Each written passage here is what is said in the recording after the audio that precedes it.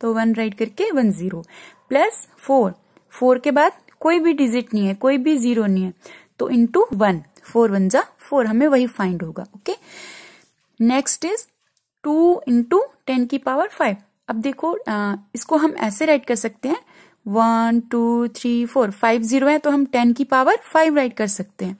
Plus seven into ten की power four four zero है तो टेन की power four plus nine into ten की पावर थ्री थ्री ज़ीरो है तो टेन की power three, plus four into ten की पावर टू टू ज़ीरो है। देखो, ऐसे कोई एक पैटर्न चल रहा है।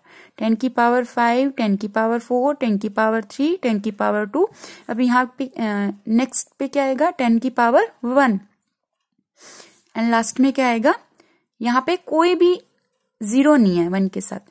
तो यहाँ पे क्या आएगा? टेन की पावर ज़ीरो। किसी भी नंबर की पावर ज़ीरो होती है तो उसकी वैल्यू क्या होती है? वन इसलिए इस पैटर्न के अकॉर्डिंग हम यहाँ पे क्या लिखेंगे? टेन की पावर ज़ीरो ये आपका आंसर होगा।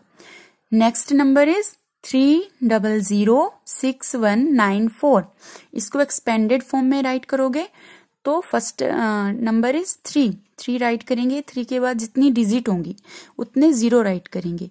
देन काउंट करते हैं। One two three four five six six digit है तो हमने सिक्स ज़ीरो राइट किए। Plus next is zero zero के बाद जितनी डिजिट होंगी, उतने नंबर उतने ज़ीरो राइट करोगे।